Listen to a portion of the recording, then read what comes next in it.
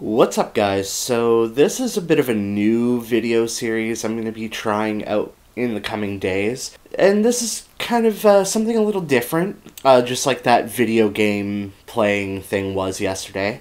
Uh, but this is something I'm also going to try to do a little bit more frequently than just once or twice, and maybe I'll make a little series. I do have the albums for this sort of predestined, so if you're going to write in the comments uh, for me to do a certain album or a certain band. I kind of have a plan for this already, and I might get to those after. We'll see how it goes. So, this is a series that I'm tentatively titling Prog That Time Forgot. Bands that kind of slipped through the cracks and just never quite got the popularity of some of their peers of the day. You'll probably notice that a lot of these bands all tend to come from the same era because it was a bit of a weird time. There are some bands that are a little bit newer and a little bit older, but they all kind of come from that sort of early to mid 2000s period. And the first one that I'm going to be talking about is a band called Divinity Destroyed.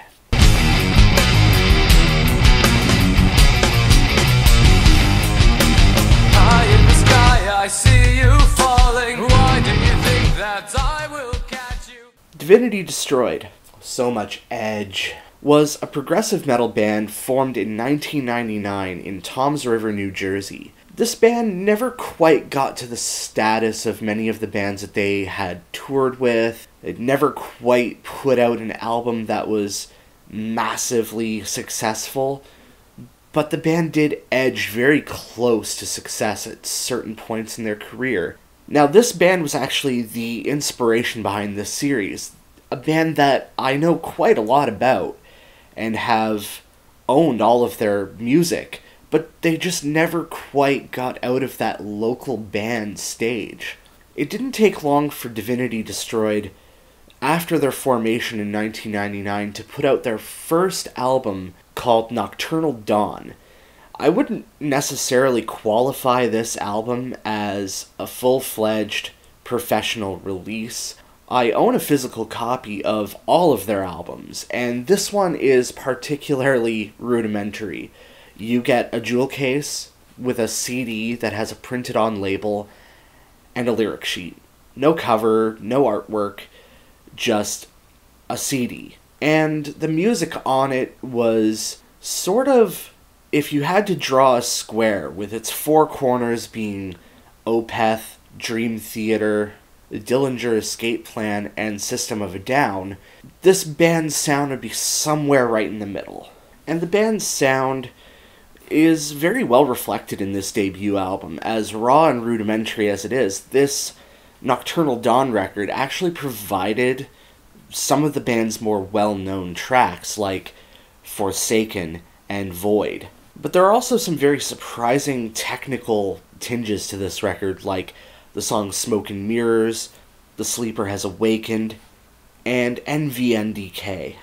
The album wasn't quite as heavy on death metal elements that the band would get into on later releases, but this is still one of their heavier releases and one that doesn't quite focus as heavily on the progressive metal aspect. It's a little bit more of a straightforward kind of metal album.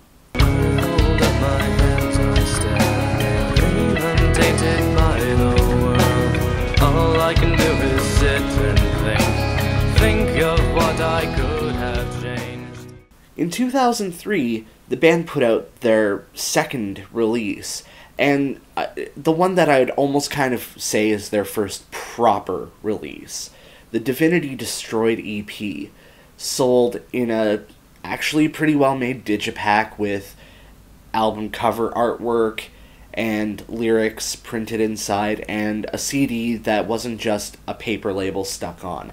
This is their first professionally made album and it's a rather short one at just barely over 15 minutes long. It's a five track EP, and it kind of plays like one straight through composition.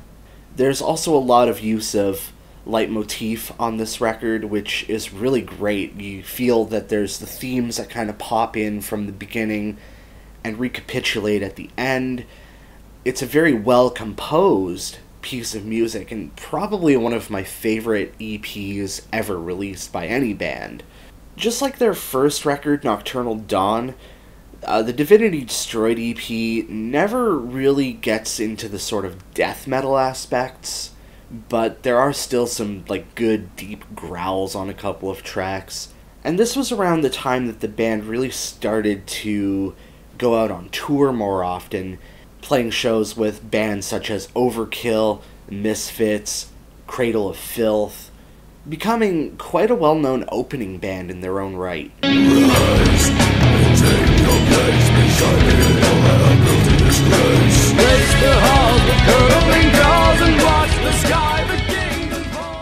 Later in 2003, the band would sign to Screaming Ferret Records and release their second full length album, the eight track Eden in Ashes. This is by far the band's most well known album and the one that maybe has the most international reach. It's actually kind of a funny story that I was introduced to this local level band from New Jersey by an online friend of mine from the Netherlands, of all places. So, yeah, this is kind of the first album by the band that really sort of broke the barriers of just their local area and got them a little bit more notoriety outside of their home territory. And for many, this album is the one that's kind of their best regarded, their magnum opus, if you will. This one plays the most heavily off of the band's progressive metal influences as well as their death metal influences, and brings in a lot more of their sort of outside influences as well, like Japanese folk music, video game soundtracks. The band has frequently cited the works of Nobuo Uematsu of Final Fantasy Square Enix fame as a major influence on their style of music, and you can hear it in certain parts of tracks like Borealis, Nothing But a Shadow, and some of the movie soundtracks that they've cited as direct influences have been soundtracks for movies such as Terminator 2. Particularly, they cited in the song Disciple that the sound of the synthesizer during the T 1000's entrance was a major influence on that particular song.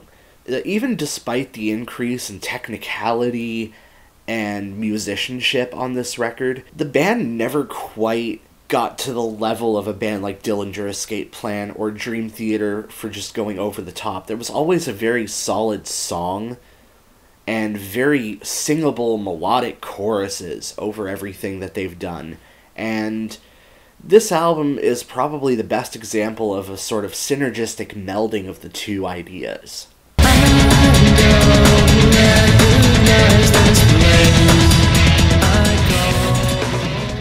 Riding the high that the band got from releasing Eden in Ashes, the band would actually see themselves going out on tour more and even caught the attention of Gigantour, which, as we all know, is Dave Mustaine's sort of mega metal tour.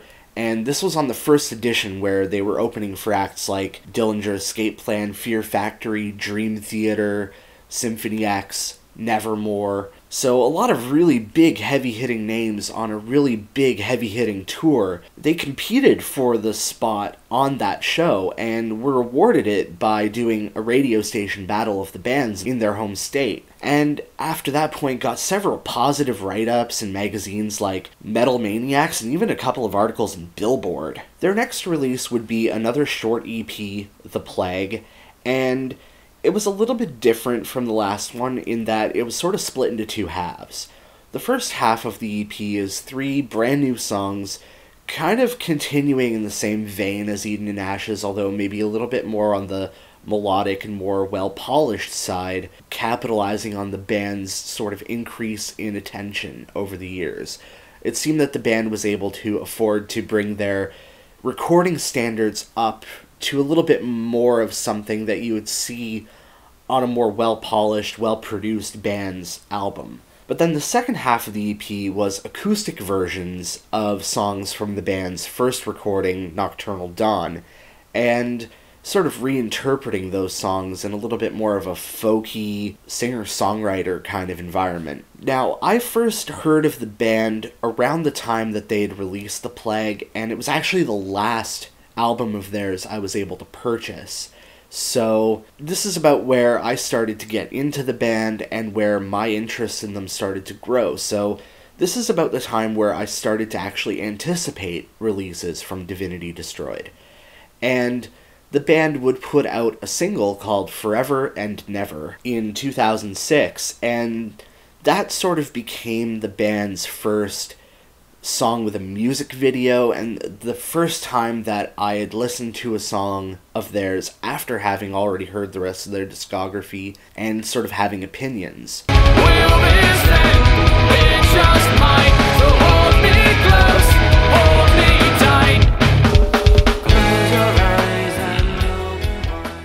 Now, this was around the time as well that the band started to have a bit of a lineup shakeup. One of their guitar players had left the band, and the band's vocalist, Mark Ward, who was also the guitar player in the band at the time, decided to shift over to keyboards, and they brought in Rick Flanagan from a band called Beyond the Flesh. I wouldn't say that their style had changed too drastically for this release, but the death metal vocal aspect was drastically cut from the band's sound, and there was a little bit more of an emphasis on keyboard playing on this song, Forever and Never.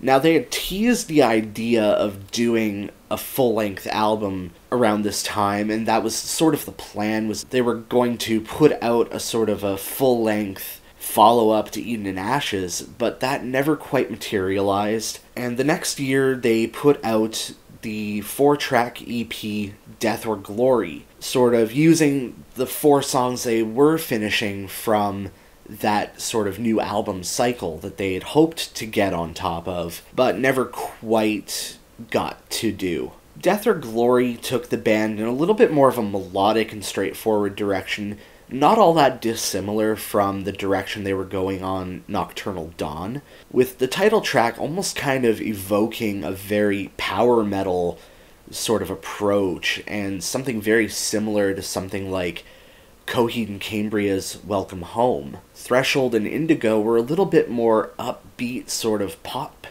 inspired tracks. Not necessarily pop songs in their own right, but definitely bringing in sort of a very accessible, melodic, major key kind of sound. And then, of course, there was a song Forever and Never, which I believe did get either a remix or remaster, maybe even a full re recording for Death or Glory.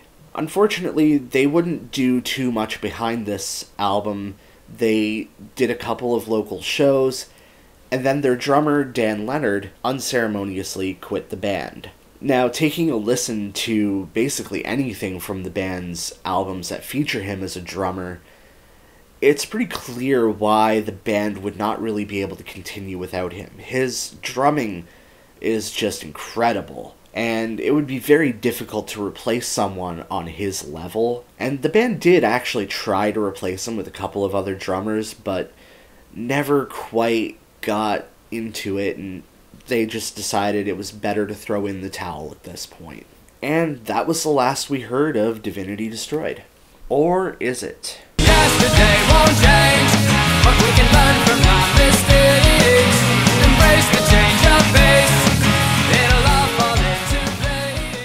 Fast forward a few years, and the band actually started teasing new material a lot of the material that the band had compiled in the hopes of following up Eden in Ashes kind of languished in development hell for a little while. And with Dan Leonard out of the band to pursue other interests and start a family, it seemed that this material was never going to see the light of day. But in 2011 2012, the band started to actually tease the idea that they were going to finally finish this new material and in 2013, they dropped their final album, Nova. The musical style on Nova definitely feels like Death or Glory, a lot more melodic, a lot more straightforward, not quite as progressive or technical as in Ashes. definitely feeling a little bit more like a proper follow up to Death or Glory, fitting that some of the songs actually came from that era. But alas, this would be the last we'd hear of Divinity Destroyed. They wouldn't perform any concerts to support this new album. Uh, they simply went into the studio, finished the tracks, and released it as sort of a love letter and a thank you to their fans. So this is sort of the section where I talk about like the where are they now of the band and you know what have they been doing in the time since they've broken up or have they gone on to success in any other ventures? Guitarist Rick Flanagan returned to his band Beyond the Flesh, and I believe they're still active, still sort of playing in a very local band capacity in their home state of New Jersey. I couldn't find any information on Dan Leonard, but uh, I assume he's probably living happily at home with his family. Brothers Tom and Mark Ward, who were sort of the originators of the band, Tom being the guitar player, I couldn't find much information on him, but it seems that Mark Ward is doing film work now with Garden State Productions. Despite the band having been officially broken up since 2007 2008, the band is actually maintaining their social media presence by sporadically posting on Facebook updates of what Mark's been doing with Garden State Productions and what Rick Flanagan's been doing with Beyond the Flesh. So it's kind of nice to see that they're still engaging with fans. They're still very grateful for that time spent in the band. It isn't something that they're looking back on in regret. And I think that makes me happy because it, it sort of leaves a bit of a, a positive ending to their story even if the band never quite got to the echelons of popularity of some of their peers, they did release some absolutely incredible music, and I think if you can find a copy of Eden and Ashes, I consider that album a bona fide masterpiece, and absolutely worth adding to any progressive metal fan's collection. It's a shame that this band never quite got as popular as some of their peers because they had all of the potential in the world and even had some really high level exposure. I mean, Billboard magazine Gigantour with Megadeth of all things. There's no reason this band shouldn't have blossomed into something a lot more popular than they are. And it is kind of a shame and you find that there's a lot of bands from this era that came very close to finding mainstream success, but never quite reached that level. And that's what this new video series I plan to do is all about. It's all about those stories of bands that should have become more popular than they were. Bands that had a lot of potential to become the next great thing and just never got brought up. So I've got a few more bands planned for this and I can't wait to share these stories with you. Hopefully, I'll get chances to do videos like this. I'm hoping to do this once a month at the least. So, in April, we will probably have another band that I'm going to go over. And like I said at the beginning of the video, I, I have a few of these bands pre planned. If you do want to suggest a band, please do feel free to leave a comment down below and tell me maybe I'll check them out. Maybe it's a band I've already heard of. But I'm going to get through the ones that I've already got pre planned before I start working on anything new. And, you know, head over to Divinity Destroyed's Facebook page. Throw them a like. See if you can find a copy of their album somewhere. Or, uh, they're probably still selling it on. Yep, Eden and Ashes and Nova are still available on the iTunes Store. And the music video for Forever and Ever is still available on YouTube to watch today. Anyway, thank you for watching this band. I hope I've helped you discover a really cool band that you might never have heard of before. Like I said, I've got more of these planned, so keep on watching. Anyway, thank you. Lauscho out. I hold up my hands, I stare, and they are broken beyond all repair. All I can do is sit and blink.